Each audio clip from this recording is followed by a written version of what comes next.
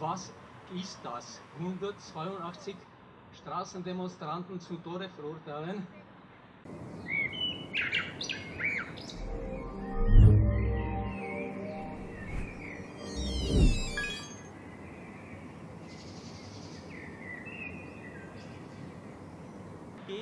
Dann äh, begrüße ich den nächsten Redner.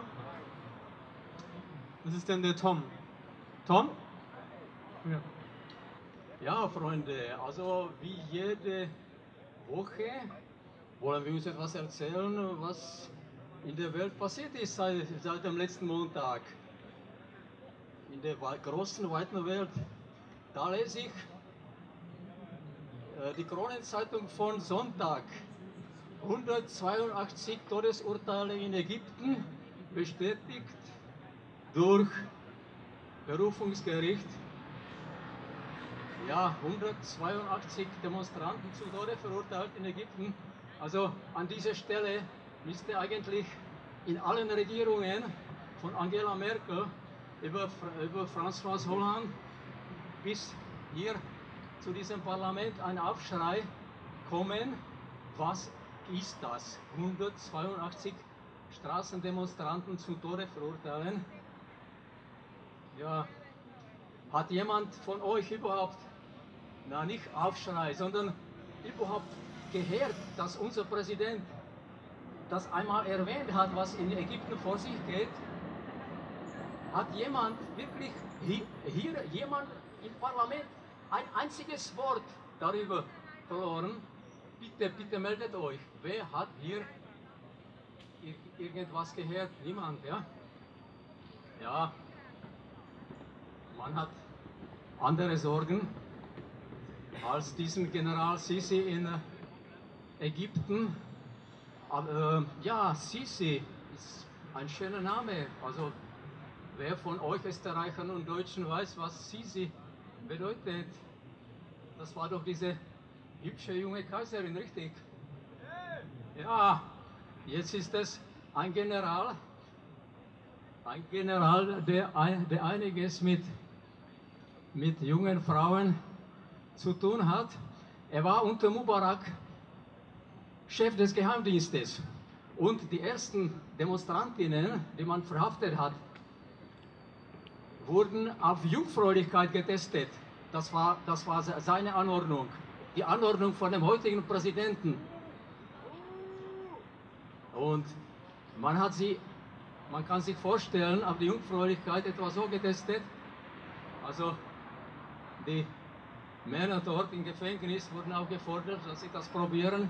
Spritzt Blut, dann kann man eine Anmerkung machen, sie war eine, eine Jungfrau, richtig, ja? Gut, diesen General Sisi würde Angela Merkel gerne die Hand reichen, nicht aber einem Putin. Das, ist, das ist ein Unmensch. Ja,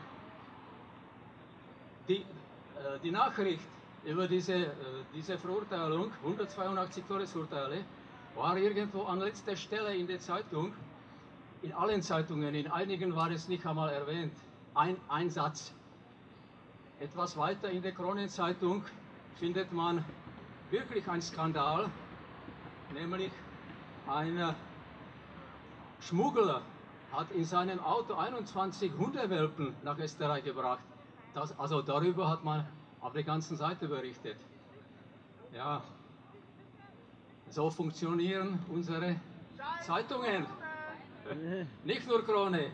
Glaubst du, dass, glaubst du, dass Standard um ein Jota besser ist? Nein, richtig. Presse genauso.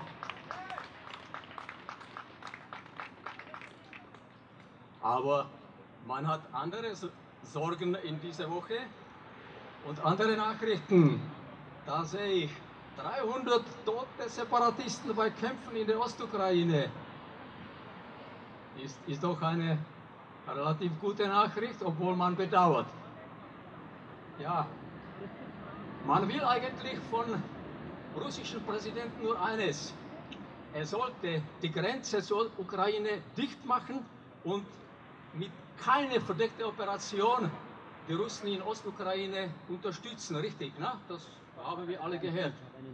Sonst drohen weitere Sanktionen gegen Russland. Ja, man muss sich das jetzt so vorstellen. Es leben irgendwo in einem Nachbarstaat von Amerika, in Mexiko, 10 Millionen Amerikaner, englisch sprechende Amerikaner, richtig, ne? Und die, die sind nicht sehr zufrieden mit der mexikanischen Regierung, die wollen einfach weg von Mexiko, die wollen sich verselbstständigen oder an, an USA anschließen. Was würde in diesem Fall Obama oder jeder andere amerikanische Präsident tun, wenn er hört, dass 300 tote Russen, also russisch sprechende Ukrainer bei Kämpfen in der Ostukraine an einem Tag getötet wurden. Was würde Obama dazu sagen und tun? Ja, was, was glaubt ihr? Wie wird er die, die Grenze schließen und, und seinen Leuten nicht helfen? Okay. In Amerika ist so etwas passiert, nicht in Mexiko, sondern in Texas. Also in den 40er Jahren, 1840 bis 1850, haben, haben sich die englisch sprechenden Siedler in Texas und in Kalifornien gegen mexikanische Regierung, die sind aufgestanden und die haben dagegen gekämpft. Der damalige, damalige amerikanische Präsident ist natürlich zu Hilfe gekommen und wie, wie, wir alle wissen, ist Texas und Kalifornien Teil der, der Vereinigten Staaten. Also, ja.